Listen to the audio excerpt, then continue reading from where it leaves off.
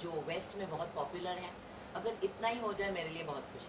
है आपने on location on set कितना एंजॉय किया क्रीचर के साथ। क्रीचर के साथ तो एंजॉय नहीं किया क्योंकि कोई क्रीचर था ही नहीं। बस हमारे ये जो ये जो डायरेक्टर एक्टर ऐसे टाइप के क्रीचर्स थे सेट पे।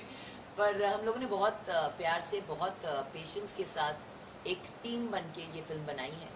क्योंकि इस फ़िल्म में बहुत ज़रूरी था कि हम सब फोकस्ड रहें।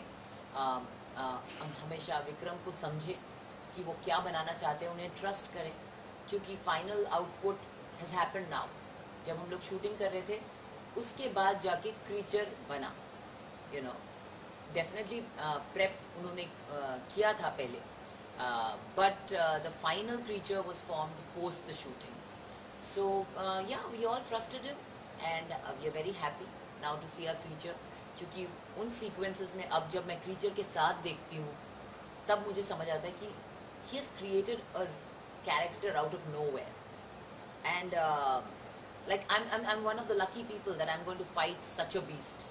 ऐसा विलन इस इस तरह के विलन के साथ मुझे uh, काम करने के लिए मिला जो डेफिनेटली प्रेजेंट नहीं था पर definitely it's going to be fascinating to watch a film like this on the big screen in 3D Bipasha कई बार आपने भी बोला है कि मैं बहुत बड़ी फट्टू हूँ बहुत डरती हूँ लेकिन फिर भी हम देखते हैं कि आप इस तरह की फ़िल्म जैसे लास्ट फ़िल्म हमने आत्मा देखी थी ये देख रहे हैं।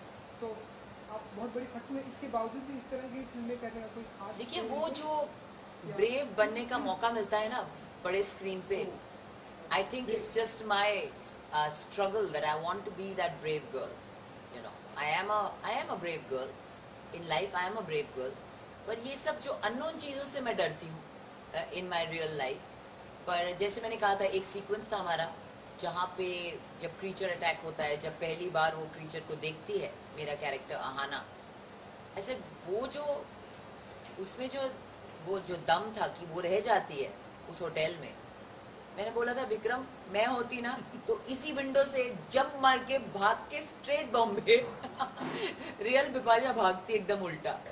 पर या it's it's the it's the excitement of playing parts which are so different from you I think that that excitement, uh, if my film is giving me that excitement, I love to be a part of films like that. विपक्षी ये जानना चाहेंगे कि क्योंकि concept ब्रह्म राक्षस का है ऐसी मान्यताओं को समझना बहुत जरूरी जी। है तो कितने कन्विंस हो गए क्योंकि इतनी आज के दौर पे साइंस को हरदम आजमाते हैं हम तभी जाके स्टेप इन करते हैं उसके बाद में सोचते हैं कि मीडिया में जाएगा फिर पब्लिक में जाएगा एक्सेप्ट करेगा कि नहीं एक्सेप्टेंसी तो सब्जेक्ट पे आप कितना भरोसा आ जाता है? देखिए आप भगवान को मानते हैं।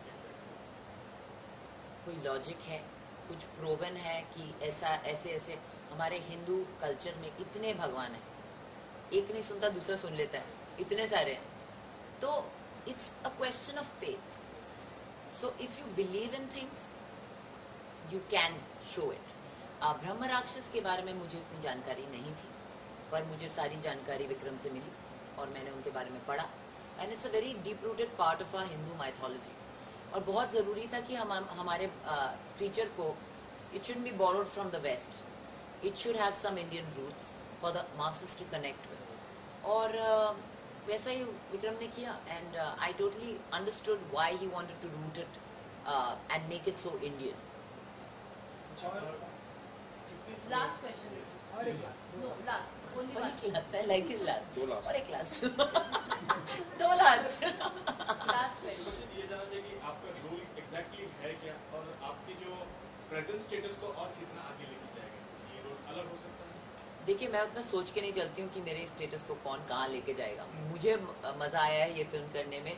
मेरे लिए बहुत एक्साइटिंग रहा। I hope that this film is path breaking because इसके ज़रिए बहुत सारी ऐसी क्रीचर फिल्म्स बन सकती हैं which will be entertaining for the audiences Indian audiences to find something new you know हम लोग सिमिलर मसाला मूवीज़ बनाते रहते हैं स्लैपस्टिक बनाते रहते हैं।